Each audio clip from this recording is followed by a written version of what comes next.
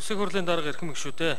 Монгол Улсын засгийн газраас 2019 оны 4-р сарын 9-ний өдөр улсын хурлд өргөн мэдүүлсэн гэр бүлийн тухай хуулийн шинжилгээний хариулгын төсөл болон хамт өргөн мэдүүлсэн хуулийн төслүүдийг хилц гисэх асуудлыг хууль зүйн байнгаараа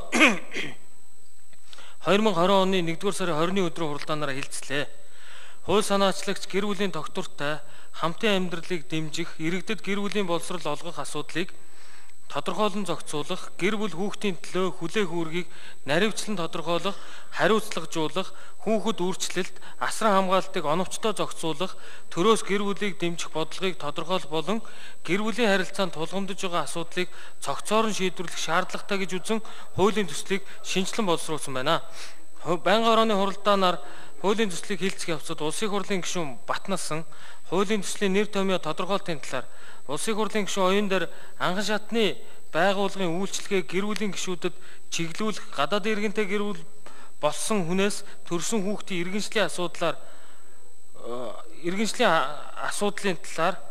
Улсын хурлын гишүүн Гарамжуу гадаад улсад хөдөлмөр эрхэлж байгаа залуучуудын гэр бүл салалт их байгаа учир хэрхэн хамгаалах гэр бүлийн боловсролын хөтөлбөрийг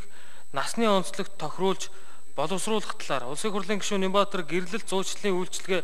эрхлэхийг хориглож байгаа талаар асуулт асууж санал хэлсэн болно. Гэр бүлийн тухай хуулийн шинжилгээний хариулгын төслийн үзэл баримтлал болон хамт өргөн мэдүүлсэн хуулийн төслүүдийг байнгын орооны хуралдаанд оролцсон гишүүдийн олонх дэмжиж Улсын хурлын чуулганы нэгдсэн хуралдаанаар хилцүүлэх нь зүйтэй гэж үзсэн болно. Улсын хурлын эрхэм гишүүдээ гэр бүлийн тухай хуулийн шинжилгээний хариулгын төсөл болон гэр бүлийн тухай хуулийг хүчингү болсон тооцох тухай, иргэний хэрэг шүүхэд хянан шийдвэрлэх тухай хуульд нэмэлт оруулах тухай, хуулийн төслийн хилцэгсэх талаарх хууль зүйн мянган орны санал дүгнэлтийг хилцэн шийдвэрлэж өгөхийг та бүхнээс өгсөе. Анхаарал тавьсанд баярлалаа.